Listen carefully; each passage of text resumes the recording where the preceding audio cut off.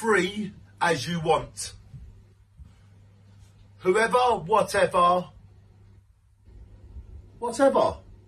Whoever, whenever, whatever you think of yourself, do you believe in forever? My own movement to peace keeps me floating in the mist. Feelings confuse reality because life can't keep up with dreams. A normal day today has been like tomorrow and yesterday. I feel like I know so much that I don't want to take part. I love good people, they are not my problem. Law with worms, with maggots from maggots, I am against a big high wall and I feel small. I'm as free as an eagle and I just wanna fly.